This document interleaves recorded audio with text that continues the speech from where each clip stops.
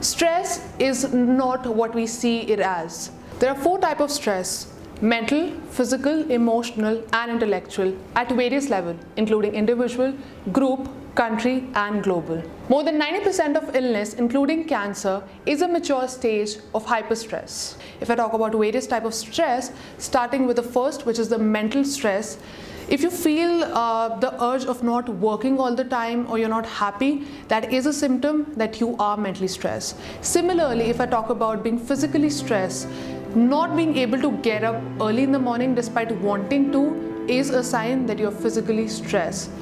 Not feeling happy or not feeling uh, to be able to talk to people all the time or just feeling unnecessary burden without any situation being there which is causing it is a sign that you are psychologically stressed. Stress has become inseparable part of our lives, be it our work or personal life.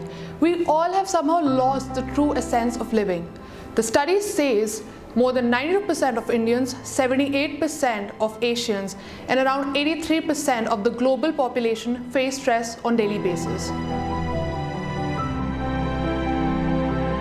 Stress is actually an outcome of an hormone which is caused when the correct amount of oxygen is not reached to our various organs.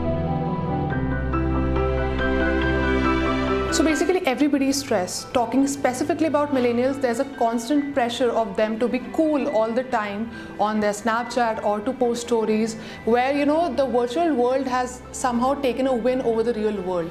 So the unhealthy lifestyle, the toxic work environment and the add-on pressure that all the millennials have actually results in them being more stressed than any of the generations before them.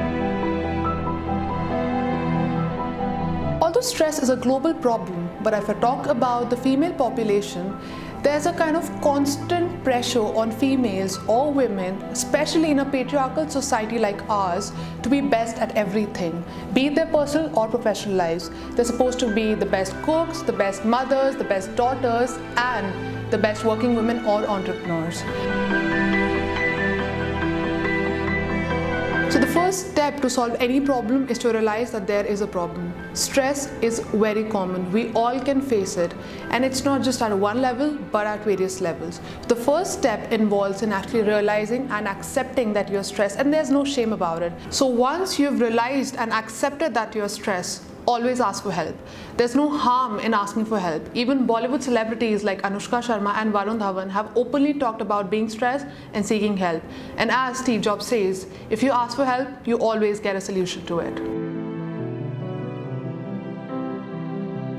Researchers show that there is now a permanent scientific solution to stress. There's a single technique which can eliminate up to 40% of stress in just 25 minutes. It exactly works like a modem charger internet connection that collectively works on any system. This technique works on your system.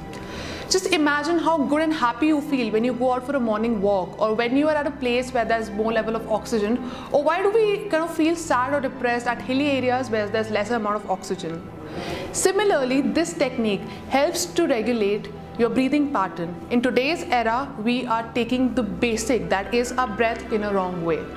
This technique helps to eliminate the unwanted diploid tendencies by regulating the breathing pattern and making the oxygen level reach at the ideal place where it should be, hence eliminating every kind of stress that you face in your daily lives.